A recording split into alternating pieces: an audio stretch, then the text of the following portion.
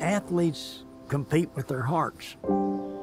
It's amazing how much the brain can overcome, but it has to have the heart because without the heart, it can't overcome. Carlin Thompson's whole body's a heart. I, I just wish y'all could have seen it. When I was born, my grandfather's sister and my grandma's sister were Chickasaw medicine men. They prophesied that I would be a great runner. After I went out for track, I felt like there's something they predicted a long time ago it's coming to pass. I ran most of my younger life barefooted. I haven't even need shoes. I had such developed callus on my feet.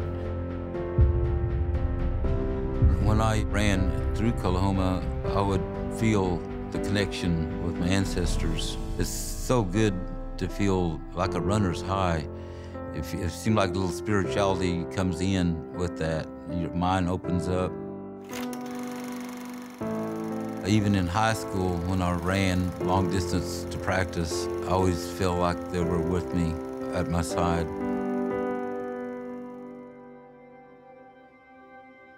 My grandma was a good teacher, taught me a lot of things about life, a lot of things about old Indian ways.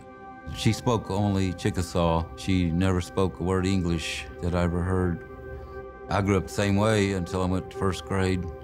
I came to Ada in the summer of 1968, and uh, the first time I saw Carlin, uh, he was in a physical education class, and it was over at the old high school. Uh, Carlin caught my attention real quick because he was at the lead of the pack, and there were a lot of juniors and seniors that were in that group. We had over 50 kids that come out for track. It was a dying sport at the time, but he knew how to talk to kids and get them interested and then and develop them. He saw talent in people, that people that didn't even know themselves. The highlight was the track and field teams they had, which Carlin was the highlight of the highlight. My main events from junior high through high school was the 220 yard dash, the 440 yard dash, uh, and two relays, the 440 relay and the mile relay. When I ran Anchorman, it, it was uh, quite a bit of pressure at, at times.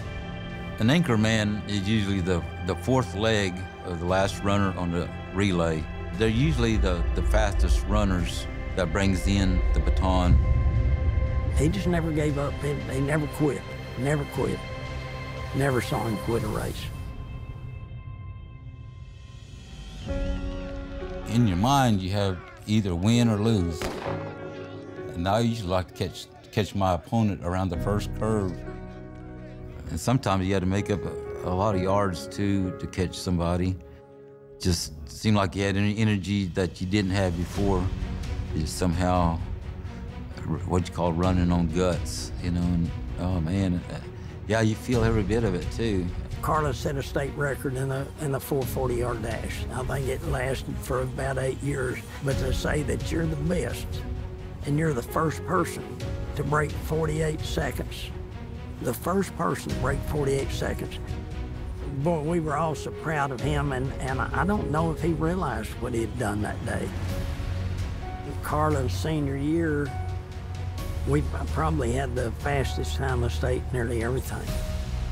Uh, we won state four years in a row from 1969, 70, 71, 72. Well, for Carlin to be able to say, I'm the first person to break 48 seconds in the history of Oklahoma track and field and say, I've been a state champion three times, that's very unusual.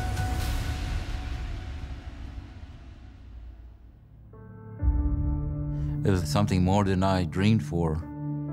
It's a great feeling. Feel like you've uh, been awarded something with all the hard work, all the sweat and pain and things that you go through to get there. Carlin is very proud, but I've never heard him brag. I've heard a lot of other youngsters and adults that have bragged about him, but I've yet to hear him brag about anything he's accomplished. And I think that's another thing that stands out about him. Uh, I didn't take nothing for granted because there's always someone out there to compete against you. Just stay positive and be humble. You don't have to prove anything to anybody. People will know you by your fruits.